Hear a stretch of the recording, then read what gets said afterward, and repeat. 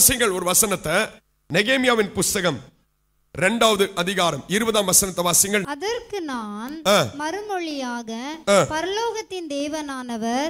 எங்களுக்கு காரியத்தை கைகூடி வர பண்ணுவார் அப்படியே இரண்டாவது அதிகாரம் பதினெட்டாம் வசனத்தை வாசிங்கள் பதினெட்டாம் வசனத்தை வாசிங்கள். என் தேவனுடைய கரம் என் தேவனுடைய கரம் என்மேல் நன்மையாக இருக்கிறதையும் என் மேல் நன்மையாய் இருக்கிறதையும் ராஜா என்னோட சொன்ன வார்த்தைகளையும் அவர்களுக்கு அறிவித்தேன். அப்பொழுது அவர்கள் எழுந்து கட்டுவோம் வாருங்கள் என்று சொல்லி எழுந்து கட்டுவோம் வாருங்கள் என்று சொல்லி அந்த நல்ல வேலைக்கு அந்த நல்ல வேலைக்கு கைகளை திடப்படுத்தினார்கள். அந்த கைகளை திடப்படுத்தினார்கள். என்னுடைய தியானத்தின் தலைப்பு எழுந்து கட்டுவோம் வாருங்கள். எல்லாரும் சேர்ந்து சொல்லுங்க எழுந்து கட்டுவோம் வாருங்கள். Arise let's build together arise and let's build together நம்ம எழும்பி கட்டுவோம் சேர்ந்து கட்ட போகிறோம். நாம் எழும்பிட்டா போதும் கத்தர் கட்ட வேண்டியவைகளை நேர்த்தியாக கட்டுவார். இப்ப ரெண்டாவது அதிகாரம் என்ன சம்பவம் நீங்க கேட்பீங்கன்னா ரெண்டாவது அதிகாரத்துல இவன் அந்த அரண்மனையில் இருக்க அந்த சம்பவத்தை நீங்க கவனிங்க. பின்பதாக நான்கு குறிப்புகளை தேவன் நமக்கு சொல்லி கொடுப்பார். அது ஜெப குறிப்புகளாக நம்ம மாற்றிக்கொள்வோம். சம்பவத்தை எல்லாருமே நீங்கள் கவனிங்கள் நெகேமியாவின் இரண்டாவது அதிகாரம் எப்படி நகர்கிறது என்றால் இப்ப அவனுக்கு முதல் அதிகாரத்துல பாரம் இருந்துச்சு உபவாசித்தான் உபவாசத்துல போய் ஜெபித்தான் மூன்று விதமா ஜெபிச்சான். ஜெபித்து முடியும் பொழுது முதல் அதிகாரம் முடியுது இரண்டாவது அதிகாரம் ஆரம்பிக்கும் பொழுது இவன் ராஜஸ்தானத்திலே ராஜாவுக்கு பானபாத்திரக்காரனா இருக்கிறதுனால சும்மா எடுத்த எடுப்புல யாருக்கிட்டையும் சொல்லாம வந்துட முடியாது. ராஜா கிட்ட பெர்மிஷன் கேட்கணும். எல்லா உத்தரவுகளை வாங்கி அதுக்கப்புறம் தான் தன்னுடைய சொந்த தேசத்துல போய் அதை கட்டணும். இப்ப ராஜாவுக்கு முன்னாடி போய் நிக்கிறான். ராஜா கேட்கிறார் என்ன நீ இதுவரைக்கும் இப்படி இருந்ததே இல்லையே? இவ்வளவு துக்கமா இருக்கிறியே. இது மனதில் உள்ள துக்கம் தான் வேற எந்த துக்கமும் கிடையாது. சொல்லு என்ன விஷயம்னு கேட்கிறார். அப்போ அவன் கொஞ்சம் யோசிச்சுட்டு உடனே ஆண்டவரை நோக்கி ஜோம் பண்ற ஆண்டவரே ராஜா கேட்கிறார் நான் பதில் சொல்லட்டுமா அப்படின்னு ஆண்டவற்றை கேட்டு அப்புறம் ராஜாக்கு பதில் சொல்லுகிறான். பதில் சொல்லும்போது ராஜா கேட்கிறார் எவ்வளோ காலமாகும்? நீ போயிட்டு உன் சொந்த தேசத்துக்கு போயிட்டு வர்றதுக்கு அது எவ்வளோ காலம் ஆகும்? ராணியும் பக்கத்தில் உட்கார்ந்து இருக்கிறாங்க எல்லாத்தையும் கேட்குறாங்க சொல்றது. எங்க தேசம் இடிந்து போய் கிடக்குது. எங்க ஜனங்க தேவன் ஆராதிக்கல. எங்க பிதாக்களுடைய கல்றெல்லாம் இடிந்து போய் கிடக்குது. நான் இங்க எப்படி சந்தோஷமா இருக்கணும்? எனக்கு நீங்க ஒரே ஒரு உத்தரவு கொடுக்கணும். நான் போய் அங்கே போய் கட்டு பார்த்துட்டு கட்டிட்டு வந்துடுறேன் அப்படின்னு சொல்லி அவன் கேட்கிறான். கேட்கும்போது கேட்குறான் நான் அந்த வேலை செய்யறதுக்கெல்லாம் எனக்கு கொஞ்சம் மரங்கள் எல்லாம் உங்ககிட்ட இருந்து தேவைப்படுது அதையும் எனக்கு தாங்கன்னு கேட்கிறான். இவன் கேட்கிற எல்லாத்தையும் ராஜா அவனுக்கு கொடுக்கிறார். நீ போய் எடுத்துக்கோன்னு சொல்கிறார். மூணு நாலு மாசம் பிரயாணப்பட்டு அவன் இருக்கிற இடத்திலிருந்து குதிரைகளில் எல்லாவற்றையும் ஏற்றிக்கொண்டு ரதங்களில் ஏற்றிக்கொண்டு அவன் அந்த தேசத்திலிருந்து இடிந்து போன எருசலேம் யூதயா தேசத்துக்கு அங்க வருகிறான். அங்க வந்து பார்க்கிறான். எல்லாமே இடிந்து போய் கிடக்கிறது. ஒரு நாள் முழுவதும் அதை முழுசா ஆராய்ந்து பார்க்கிறான். என்ன எப்படி இடிஞ்சு போச்சு? இப்படி எப்படி இடிக்க முடியும்? சத்துரு வந்தான். எல்லாவற்றையும் இடித்து போட்டிருக்கான் இவன். தேம்பி தேம்பி ரொம்ப வேதனையோட இரவுல போய் ஒரு மிருகத்தை ஒரு ஒரு குதிரையோ கழுதையோ இது மேல ஏறி அது போய் சுத்தி பார்க்கறான். அரண்மனை அந்த நகரத்தை முழுசா சுத்தி பார்த்து நேரா எல்லாத்தையும் அவன் புரிஞ்சுக்கிட்டான். அங்க இருக்கிறவங்க கிட்ட வந்து சொல்றான். இந்த மாதிரி நான் இந்த தேசத்துலேருந்து வந்திருக்கிறேன். இந்த அரண்மனை அந்த அரண்மனையிலேருந்து வரேன் நான் இதை கட்ட போறேன். நீங்க எல்லாரும் என் கூட உத்தரவளிப்பீங்களா அப்படின்னு கேட்கிறாங்க உடனே அவர்கள் சொல்றாங்க நீங்க கட்ட வந்திருக்கிறீங்களா? நாங்களும் உங்களோடு சேர்ந்து கொள்கிறோம் என்று அவனுக்கு கரம் கொடுக்கிறார்கள். அப்பந்தான் அவன் சொன்னான் நம்ம எல்லாரும் சேர்ந்து எழுந்து என்ன செய்வோம்? கட்டுவோம் என்று சொன்னான். ஆனா உடனே அங்க இருக்கிற இன்னும் ஒரு மூணு பேர் இருக்கிறாங்க. இவன் வருகிறதையும் இவனுக்கு விரோதமா இதை கட்டிடக்கூடாது என்று எழும்புகிற மூன்று பேர். இவர்கள் தான் நான் சொல்லுவேன் நம்ம ஆண்டவர் கட்ட விரும்புகிறார் நாமும் கட்ட ஒப்பு கொடுக்கிறோம் இதை பொறுக்காத பிசாசு நம்ம கட்டப்படக்கூடாது என்று எதிர்வல்லமையாக செயல்படுவான். அப்படி செயல்படுகிறவர்கள் சன்பலா தொபியா கேசு என்று சொல்லப்படுகிற மூணு பேர் எழும்பி இவனை நிந்திக்கிறாங்க பரியாசம் பண்றாங்க. பெருசா வந்துட்டான் இதை பெருசா கட்டி முடிச்சிருவான பார்த்துலாமா நகரத்தை எப்படி நகரத்தை அலங்கத்தெல்லாம் கட்டவே முடியாது ஒருத்தனால. இவன் என்ன பெருசா செஞ்சிருவான்? அவனை தூஷணமாய் பேசுகிறார்கள். அப்பந்தான் நெகேமியா இரண்டாவது அதிகாரத்தை முடிக்கும் போது சொல்கிறான் பரலோகத்தின் தேவன் எங்களுக்கு காரியத்தை கை கூடி வர பண்ணுவார் எல்லாரும் சேர்ந்து சொல்லுங்க பரலோகத்தின் தேவன் எங்களுக்கு காரியத்தை என்ன செய்வார்? கை கூடி வர பண்ணுவார் எழுந்து கட்டுவோம் வாருங்கள் என்று சொன்னார் அடுத்த வாரத்திலே கிட்டத்தட்ட ப- ப- பனிரெண்டு இல்லை என்றால் பதினோரு வாசல்கள் இருக்கு. எப்படி அந்த ஒவ்வொரு வாசலையும் அவன் கட்டினான்? ஒவ்வொரு வாசலுக்கான ஆவிக்குரிய அர்த்தம் என்ன என்று நம்ம மூன்றாவது நான்காவது அதிகாரத்திலே பார்க்கலாம். இன்றைக்கு இரண்டாவது அதிகாரத்திலே இதை கட்டும்பொழுது என்ன அவன் செய்தான்? எப்படி நம்மளும் நம்முடைய வாழ்க்கையை கட்டுவது? தேவன் எப்பொழுது நம்மை கட்டுவார் என்று பார்ப்போம். என்றால் வாசிங்க முதல் குறிப்புக்குள் செல்வோம். நான்காவது வசனத்தை வாசிங்க. நான்காம் வசனத்தை வாசிங்கள் அப்பொழுது ராஜா அப்பொழுது ராஜா என்னை பார்த்து என்னை பார்த்து கேட்கிற காரியம் என்ன என்றார்? நீ கேட்கிற காரியம் என்ன என்றார்? அப்பொழுது நான் அப்பொழுது நான் பரலோகத்தின் தேவனை நோக்கி ஜெபம் பண்ணி பரலோகத்தின் தேவனை நோக்கி என்ன செய்தனா? எல்லாரும் சொல்லுங்க என்ன செய்தான் ஜெபம் பண்ணா. நீங்க நல்லா கவனிங்க இவனும் ஒரு உயர்ந்த ஸ்தானத்துல இருக்கிறான்.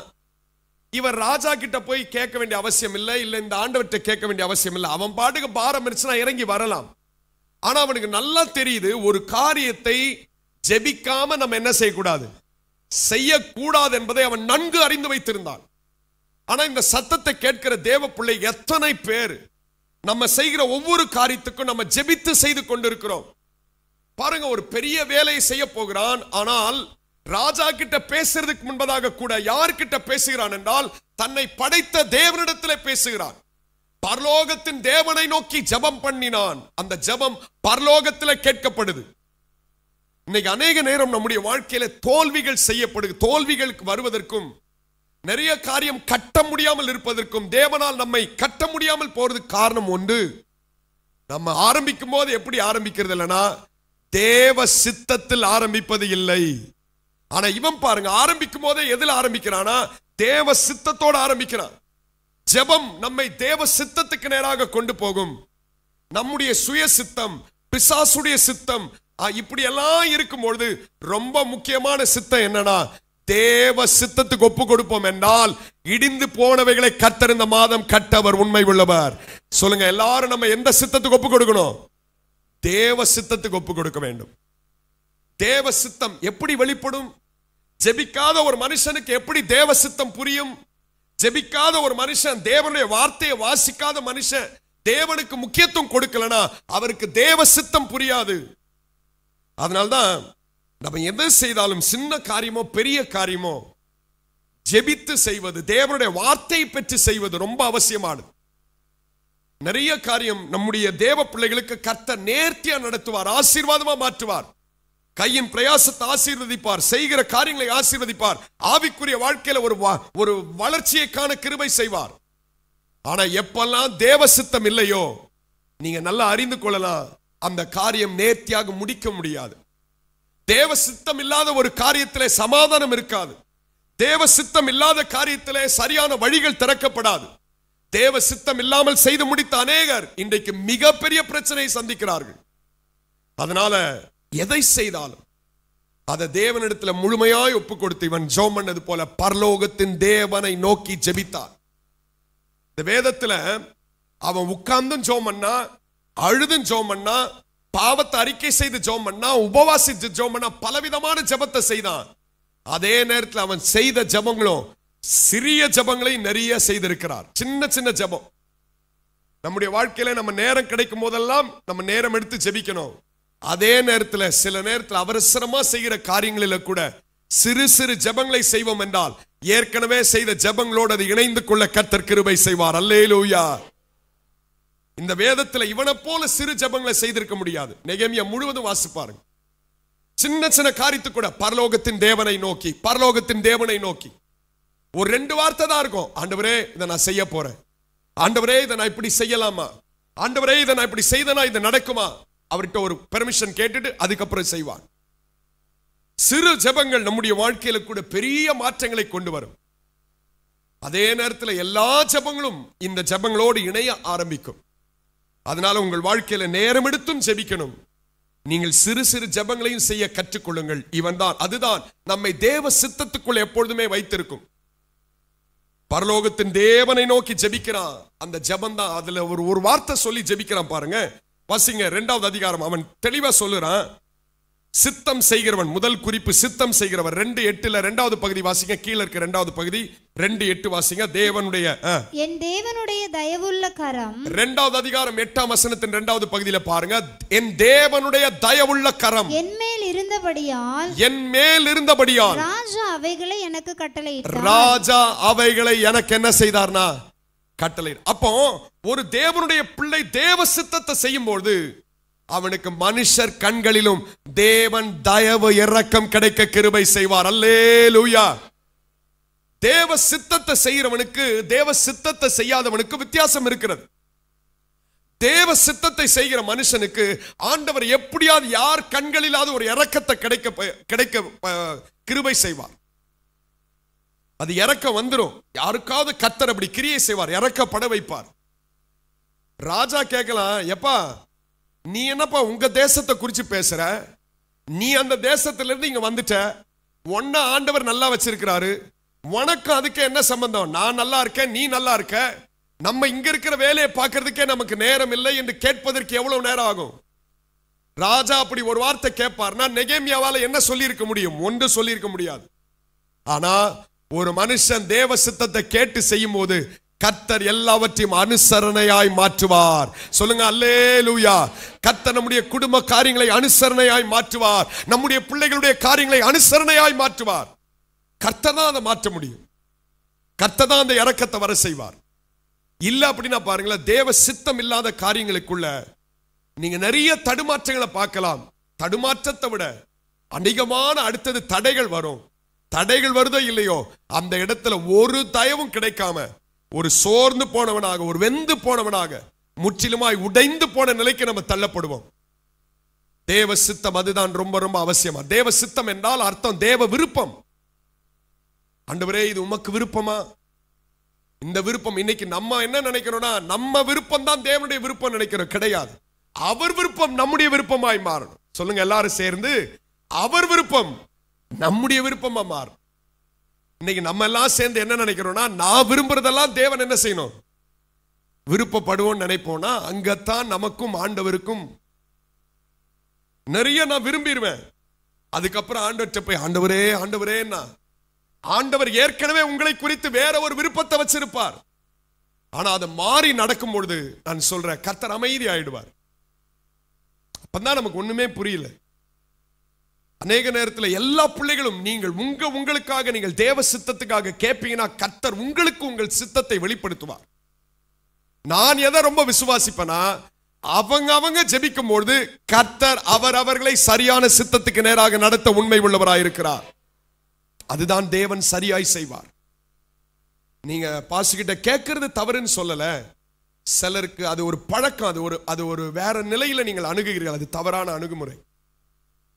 கர்த்தர் உங்களுக்கான காரியத்தை நீங்க கேட்பீங்கன்னா ஏன்னா உங்களை நேசிப்பது போல என்ன நேசிக்கிறார். என்ன நேசிப்பது போலத்தான் உங்களையும் இந்த ஆண்டவர் நேசிக்கிறார். ஒருவருக்கும் பட்சபாதம் காட்டாத தேவன் அவர். பரலோகத்தின் தேவனை நோக்கி அவன் ஜோம் பண்ணாங்க. தேவன் அவனை சித்தத்துக்குள்ள வைத்தார்.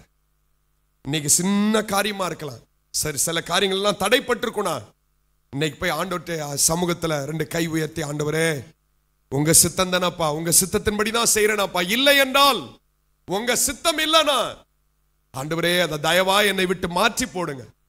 இல்லாத அந்த சித்தத்துல நீங்க தடை கொண்டு வந்ததுக்காக ஸ்தோத்திரம். வேறு காரியத்தை செய்ததுக்கு எனக்கு வேறு வழியை காண்பீங்கள். என்று நீங்க கேட்பீங்கன்னா கட்டுவேன் என்று சொன்ன கத்தர் கட்டாமல் நம்மை விட மாட்டார் அல்லேலூயா. இடிந்து போனவைகளை நிச்சயம் கட்டுவார். ஆனா சித்தம் இருக்கான்னு கொஞ்சம் சோதித்து பாருங்க.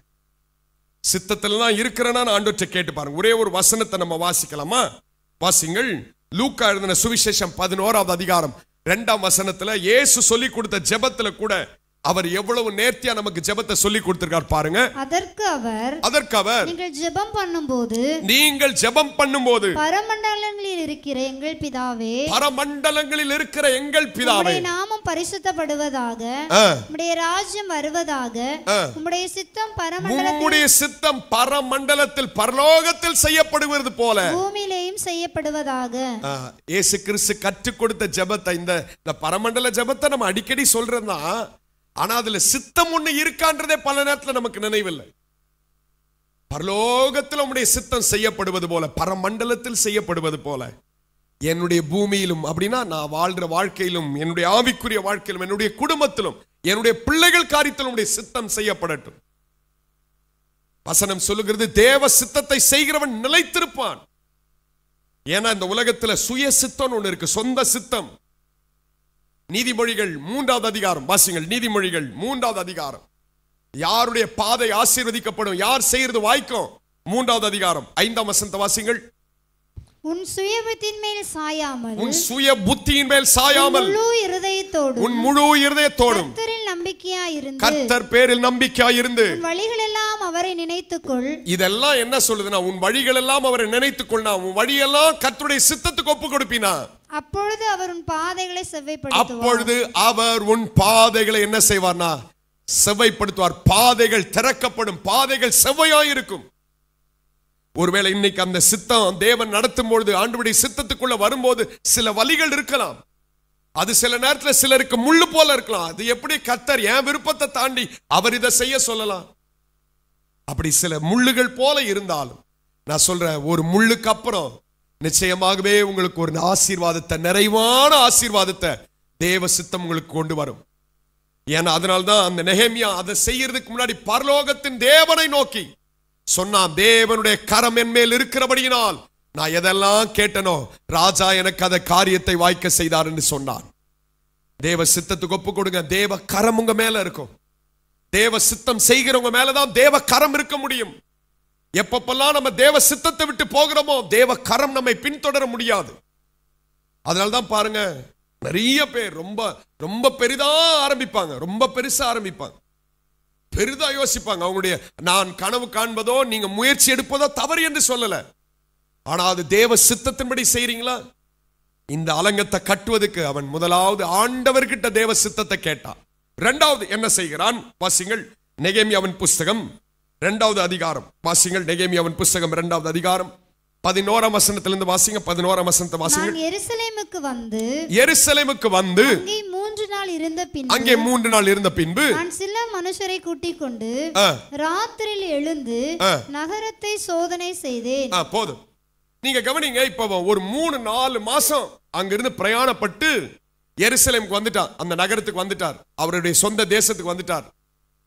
பார்த்தா எல்லாமே இடிஞ்சு கிடக்குது. ஆனா உடனே போல ஒரு மூணு நாள் ரெஸ்ட் எடுத்துட்டு அன்னைக்கு நைட்டு சிலரை கூப்பிட்டுட்டு தேவன் தன்னுடைய இருதயத்தில் என்ன சொன்னாரோ தேவ சித்தம் என்னன்றது அவரை புரிந்து வைத்திருந்தார். அதை மனசுக்குள்ளே வச்சுக்கிட்டார். போய் நகரத்தை அவர் சோதனை செய்தார். சோதனை செய்தார். முதல்ல சித்தத்தை செய்தார். ரெண்டாவது அவர் என்ன செய்தார்னா சோதனை செய்கிறவர். சொல்லுங்க என்ன செய்கிறவர்?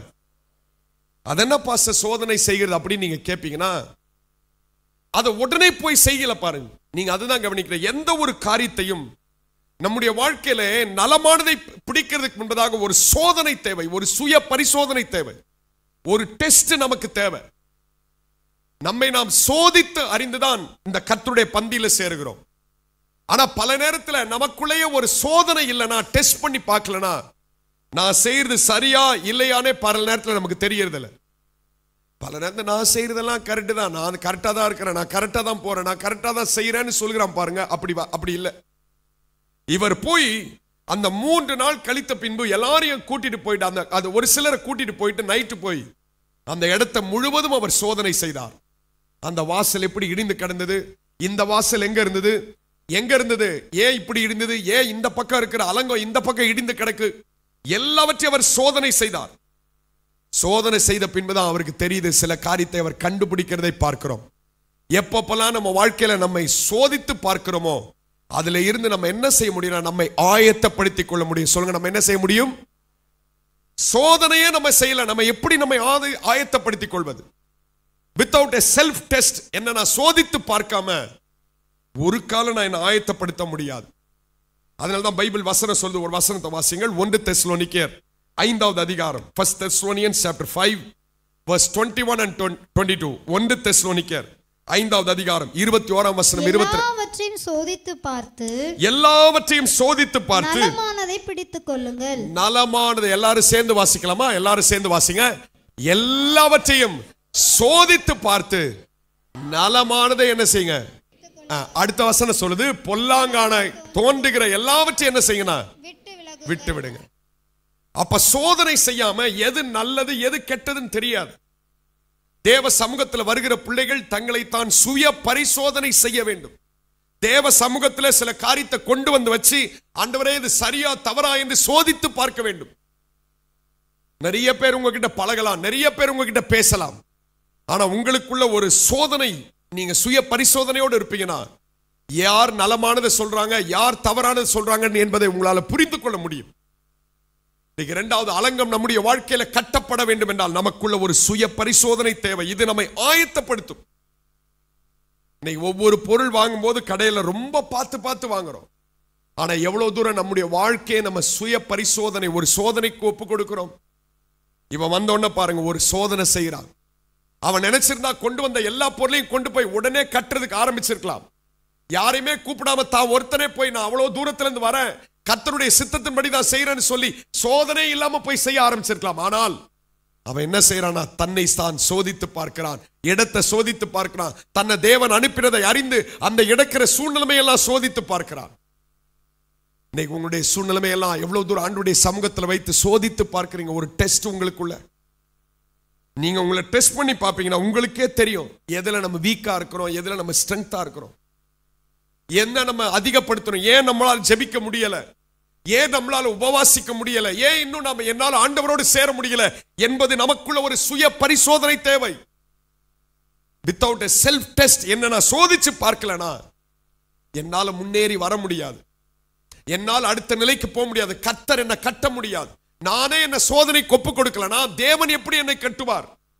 ஏன்னா தன்னை தான் சோதித்து பார்க்கும் பொழுதுதான் நம்முடைய ஆயத்தப்படுத்துதல் நம்முடைய திட்டமிடுதல் எல்லாம் நமக்குள் வெளியில வரும். இன்னொரு வசனம் பாருங்க.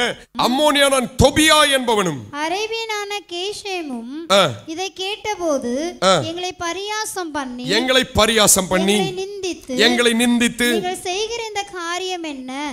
நீங்கள் ராஜாவுக்கு விரோதமாக கலகம் பண்ண போகிறீர்களோ என்றார்கள்.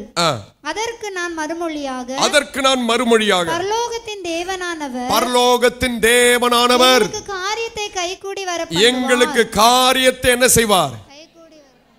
இப்ப நல்லா கவனிங்கள் இரண்டாவது அதிகாரம். ராஜா முன்னாடி போய் நிக்கிறா ராஜா இந்த மாதிரி எங்க தேசம் அழிந்து போகுது அது அழிந்து போயிருச்சு எல்லாம் உடஞ்சி கிடக்கு. ஆண்டவரே நான் ராஜா கிட்ட பேசலாமா? ராஜா கிட்ட உத்தரவு கேட்கிறா ராஜா நீ போயிட்டு வா.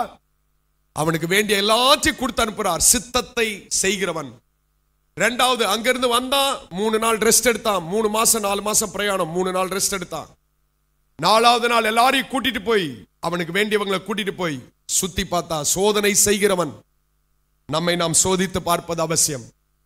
மூன்றாவது அங்க வந்து எல்லாம் அடிபட்டு ரொம்ப கஷ்டத்துல இருக்க ஜனங்களை பார்த்து சொன்னா நான் ஆண்டோடைய கரத் ஆண்டோடைய வேலை செய்ய கரத்தை நீட்டுறேன் யார் யாருடைய கரம் என்னோடு சேர முடியும்னு சொன்னா அங்க இருக்கிற சிலர் அவனோடு கரத்தை சேர்த்தார்கள்.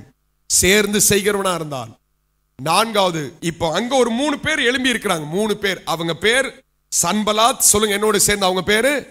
சன்பலாத் தொபியா கேஷவ் பேரெல்லாம் நல்லா தான் இருக்கு. சன்பலாத் தொபியா கேஷவ் இந்த மூன்று பேரும் என்ன சொல்றாங்க அப்படின்னா யார் யா இவன்? இன்னொருத்தன் வேற எங்கேருந்தோ வந்துட்டு இந்த நகரத்தை கட்டுவேன்றான் அலங்கத்தை கட்டுவேன்றான் மதுல கட்டுவேன்றான் வாசலை வைப்பேன்றான். அவங்களுக்கு அது வருத்தமா இருக்கு. தேவனுடைய காரியத்தை கட்டுவது சிலருக்கு ரொம்ப வருத்தமா இருக்கு. அவர்கள் எதிர்த்து போராடுகிறார்கள். கட்டக்கூடாது. அப்படின்னு எதிர்த்து போராடுகிறார். இந்த சன்பலா தொபியா அவங்க வேற மொட்டை கடிதாசி போடுறாங்க ராஜாக்கு மொட்டை கடிதாசி. இது நிறைய பேருக்கு ரொம்ப பழக்கமானது. பேரும் இருக்காது ஒன்றும் இருக்காது. எல்லாம் எல்லாம் எழுத வேண்டியது எழுதி போட வேண்டிய இடத்துல போட்டுற வேண்டியதான் சில பேர்லாம் அடமொழியில் அன்னைக்கு கூட ஒரு பேர் சொன்னாங்க. அவர் பேரே மொட்டை கடிதாசின்னு இன்னொரு பேரை சேர்த்து சொன்னாங்க. என்னன்னா வாழ்நாள் ஃபுல்லாக யாருக்காவது என்ன போட்டுக்கிட்டே இருப்பாராம்? மொட்டை கடிதாசி போட்டுக்கிட்டே இருப்பாராம். அவருக்கு தெரிஞ்சதை போட்டுட்டு எழுதி எழுதி யார்கிட்டயா போட்டுக்கிட்டே இருக்க வேண்டியது. இவங்க போடுறாங்க நகேமியாவுக்கு விரோதமா. அவன் கலகம் பண்ண வந்துட்டான். அவன் சரி கிடையாது. அப்புறம் பரியாசம் பண்றாங்க. இவனா? பெருசா இவ்வளவு மரத்தை கொண்டு வந்துட்டான். செஞ்சிடான் பார்த்தல. ஒரு நகரமே உடஞ்சு கிடக்கு. வேற நிந்தனையா பேசுறாங்க. கெட்ட வார்த்தை தூஷணமா பேசுறாங்க. இவன் கூட நாலு நோஞ்சான சேர்த்திருக்கிறான் இவனா போய் கட்டிடுவான். ஆனா நாலாவது அவனுக்கு நல்லா தெரியும். நான் தேவ சித்தத்துல தான் இருக்கிறேன். நான் ரெண்டாவது சோதனை செஞ்சுட்டேன். எப்படி செய்யணும்ன்ற எனக்கு திட்டம் தெரியும். மூணாவது என்னோடு சேர்ந்து செய்கிறவர்கள் இருக்கிறார்கள். நான்காவது இத்தனை வார்த்தைகளை கேட்ட பின்பு சோர்ந்து போகாமல் செய்கிறவன். சொல்லுங்க அவன் எப்படி பண்ணுவன்? சோர்ந்து போகாமல் செய்கிறவன். சோர்ந்து போல பாருங்க. வார்த்தைகளை கேட்டவன சோர்ந்து போல. இன்னைக்கு அநேகருக்கு பிசாசு எப்படி பல மனிதர்களை விட்டு சோர்வை கொண்டு வருவான். அவங்களே எல்லாத்தையும் மறந்து போயிருப்பாங்க. ஆனா வந்து கேட்பான் என்ன அன்னைக்கு அப்படி ஆச்சாமே? அப்படின்னு ஒன்று ஆரம்பிச்சாலே தெரிஞ்சுக்கலாம். இவங்க யார்கிட்ட இருந்து வந்திருக்கிறாங்க? அப்படின்னு அவங்ககிட்ட சொல்லிடாதீங்க. நீங்க புரிஞ்சுக்குங்க. ஏன்னா ஒரு காரியம் முடிந்து போனது மறந்து போனது விட்டு போனது அது பழசு அது திருப்பி அது எடுக்கவே கூடாத காரியங்களை. பிசாசு தான் இப்படி பேச ஆரம்பிப்பா. பழசெல்லாம் பேசுவான். இருபத்தஞ்சு வருஷத்துக்கு முன்னாடி நடந்த ஒரு காரியத்தை தேவையில்லாத ஒரு சண்டைக்காக உள்ள கொண்டு வருவாங்க. அன்னைக்கு அப்படி நடந்துச்சே. அன்னைக்கு நடந்துச்சு அன்னைக்கு அப்புறம் சாப்பிட்டு இருக்கிறாரு அன்னைக்கு அப்புறம் தூங்கி இருக்கிறாரு அன்னைக்கு அப்புறம் எத்தனையோ காரியத்தை செஞ்சிருக்காரு. இருபத்தஞ்சு வருஷம் தாண்டிட்ட பிறகு அன்னைக்கு அப்படி நடந்துச்சு. அப்படியெல்லாம் சொல்லி இன்னைக்கு பாருங்க. சோர்ந்து போக செய்கிறவன் பிசாசுங்க. பைபிள் சொல்லுது நம்முடைய ஆண்டவர் சோர்ந்து போகிறவனுக்கு பலன் தருகிறவர். சத்துவம் இல்லாதவனுக்கு சத்துவத்தை தருகிறவர். எழும்ப முடியாதவனை கத்தர் எழும்பி அவங்களை கட்டவர் உண்மை உள்ளவராக இருக்கிறார் இன்னைக்கு உங்க வாழ்க்கையில எதெல்லாம் உங்களை சோர்ந்து போக செய்திருக்கிறது? மனுஷனுடைய வார்த்தையை கேட்டு சோர்ந்து போயிட்டீங்களா? யோசேப்புன்னு ஒரு மனுஷன் இருந்தாங்க. அவன் மேல சொல்லப்படாத குற்றச்சாட்டு இல்லை சொந்த சகோதரர்கள் எடுத்து குழியில போட்டான் வஸ்திரத்தை கிழிச்சான் நிர்வாணப்படுத்தினாங்க. எடுத்து தூரத்துல வித்தாங்க. விற்கும் போது கதர்னா அண்ணா எனக்கு மொழி கூட தெரியாது. அவங்க என்ன யாருன்னே தெரியாது.